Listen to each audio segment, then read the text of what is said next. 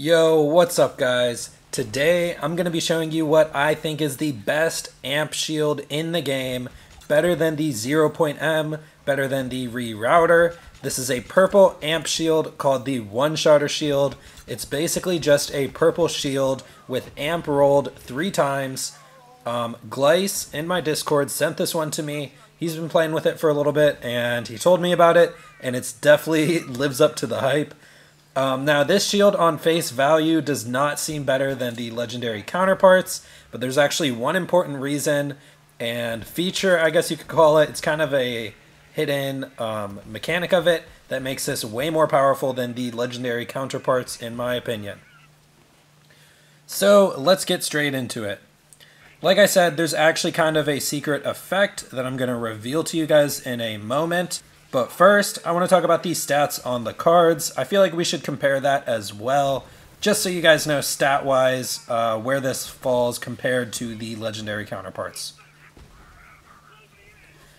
Overall, the purple amp shield is going to have lower recharge delays and a faster recharge rate on top of a lower capacity, and it also drains less shields. What this means is this purple amp shield will consistently charge faster than the 0.M.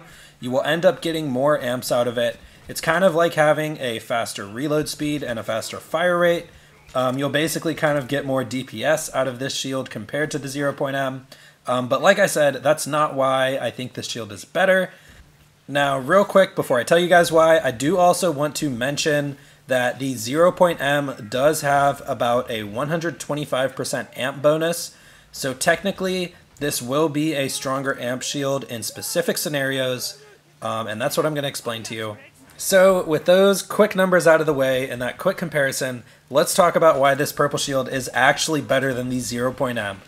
If you're using any sort of multi-pellet weapon, the 0.M does not fully amp it. What do I mean when I say that? Well, let's go over to the test dummy and show myself shooting a shotgun at it while wearing the 0.M. So a Brainstormer on the test dummy amped by the 0.M shoots for about 5600 damage and when our shield is slightly depleted and we have no amp anymore, now we're only shooting for 5000 damage. Now this is clearly not getting amped by 125% because it would more than double the total damage now, you guys can try this with the rerouter if you'd like, um, but I've been told it does the same as the 0.M. It doesn't actually amp the full shot of the uh, multi-pellet shotgun. So what's happening here is it's actually just amping one or some of the pellets. Um, I'm not exactly sure how much, but it's obviously not amping the entire shot. Now, this is going to go for like any multi-pellet weapon at all. And basically what this means is neither of the legendary amp shields work with multi-pellet weapons. And that's where the one-shotter shield comes in. When we put this on and we shoot with the Brainstormer again, you guys can clearly see in the clip, we are going from 5k to 10k, meaning that the one-shotter shield correctly amps multi-pellet weapons. It's actually amping all of the pellets that you're shooting so what this basically means is the more pellets your gun has, the better the one-shot shield becomes in comparison to the legendary shields. Now, I know how I just phrased that might seem a bit deceiving, so I actually want to show you guys a test using a gun with only two pellets. So this is so this is just to prove anytime you have a single pellet weapon, then the 0.M or the rerouter technically will amp it for more than the one-shotter shield. But I'm going to show you guys, even with just two pellets, the one-shotter shield is going to amp for more damage overall between both the pellets. So I'm going to be testing with the King's Call, but I will have Playing Dirty active. So this is a single pellet weapon, and we're adding a second pellet to it with Playing Dirty. Let's just see the damage difference between the one-shotter shield and the 0.M. Now I'm going to be standing completely still. Um, but I will have some kill skills active uh, because I am wearing the Seein' Dead class mod. It just automatically activates our kill skills, but that's fine. We're gonna have the same amount of kill skills.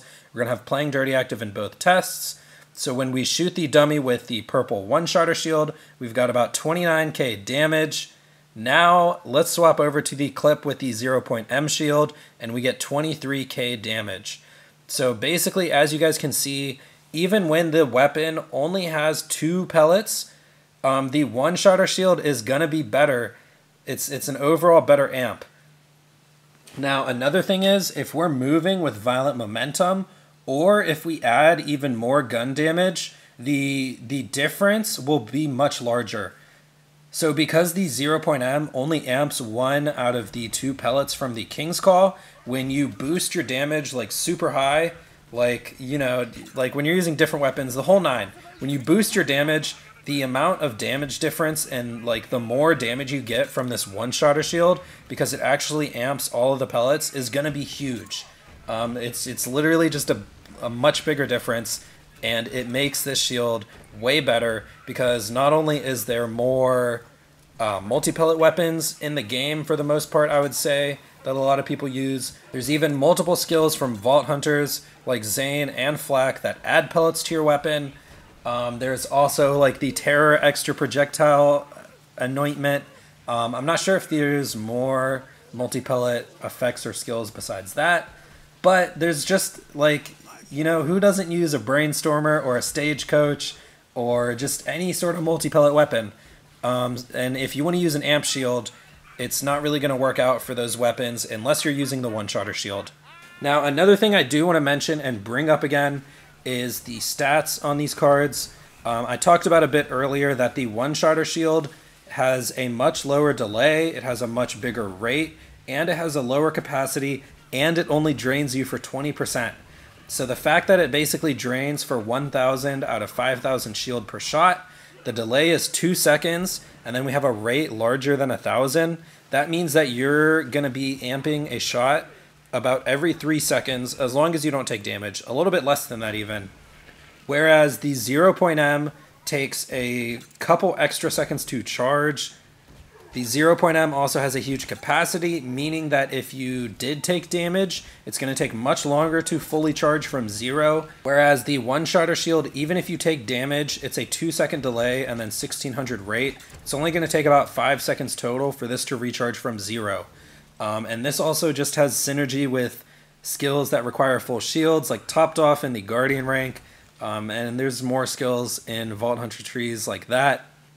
So yeah, Anyways, guys, that's pretty much going to be it for the video. Be on the lookout for this shield. Um, it's just a world drop, unfortunately, so you're going to have to search vending machines um, or just look out for it while you're farming. It is, It's a pretty rare drop. It is triple amp all rolled into one shield.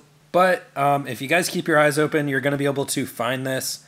Um, if we find enough good purple gear soon, we're going to have full purple loadouts that are even better than some legendary loadouts that you could have it's definitely possible. I'm actually kind of looking forward to it. I might have to come up with a purple items only build in the future.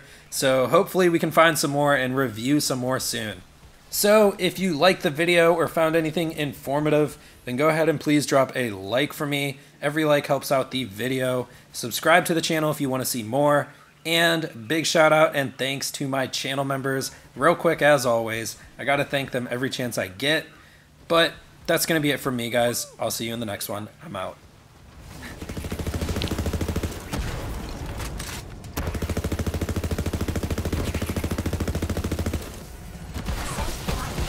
You've been identified as a narcissist. Come closer, will you?